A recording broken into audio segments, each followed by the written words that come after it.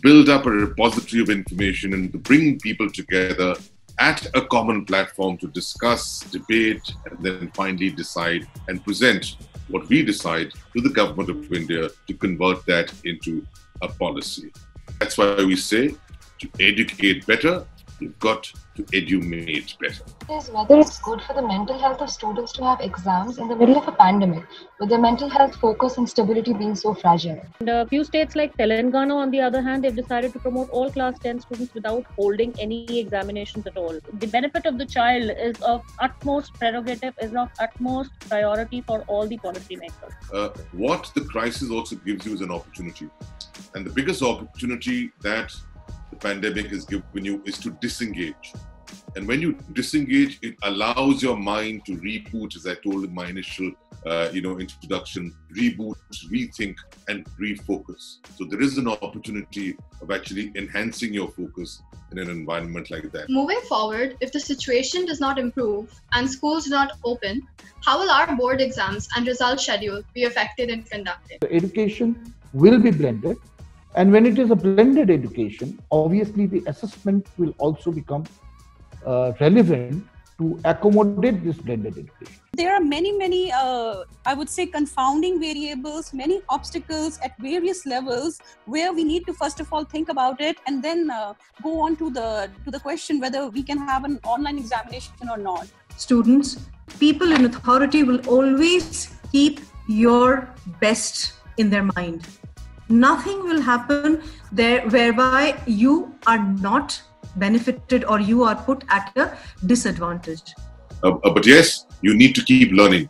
Uh, in every situation and uh, more so in a situation like this. My question is during this pandemic, our academics have been covered by our school teachers uh, quite effectively, that too uh, what steps can we take to do some extracurricular activities so that we can learn some skills as well as unwind after staring at the screens for long hours? There are lots of different types of organizations, schools, universities, colleges are organizing uh, workshops, seminars, webinars. Some are, some are actually targeting uh, class 12 students, some are targeting undergraduate students even top top universities like harvard university uh, cambridge they are actually offering these skill based learning learning webinars and uh, uh, internship opportunities which are actually free for the students. Prior to going to the uh, blended classroom system or prior going to the uh, in, uh, online class system i think uh, the governments or the policymakers should take certain initiatives so that not only the teachers, the parents should also be given some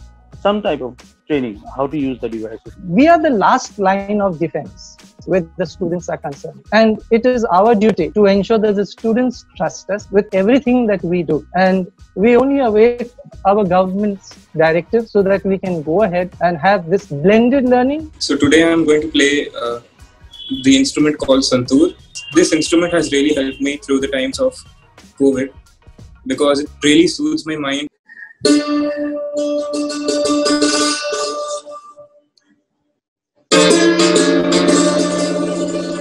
So we are looking at our roles, if not becoming redundant, then at least becoming minimal, I would say. And we are watching this development in our children very proudly as they are becoming very confident self-motivated learners. Nowadays, the students and teachers are facing a lot of uncertainty with respect to their future during the COVID-19 lockdown period. We are facing a lot of problems, sir. Uh, how to uh, continue the classes to the students? Uh, we are trying to manage somehow by the conference call too. Most of the students, they don't have uh, mobile, that's why. Today, the bridge of a student and a teacher is no more. It's a question of how you are mentoring the learners.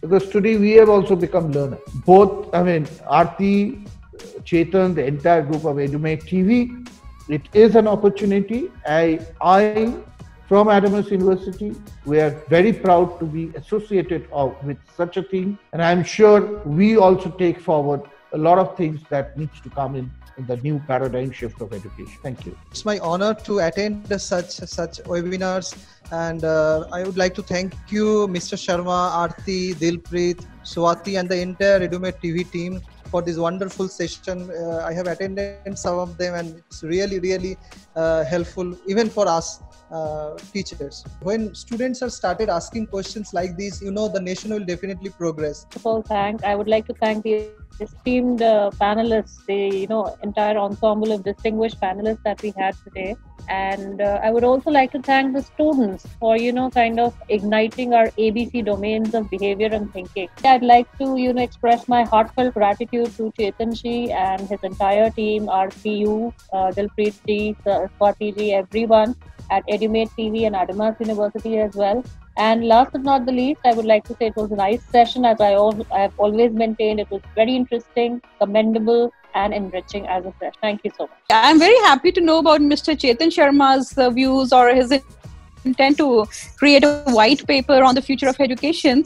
And thank you very much, Mr. Chetan. I came here promising myself I will not speak, but I think he, he made me open my mouth twice. Thank you very much. So, thank you so much for putting together such a wonderful program where I think all of us are taking back something very, very new and uh, important and pertinent for these times. Thank you, everyone, for giving me that chance to join with you.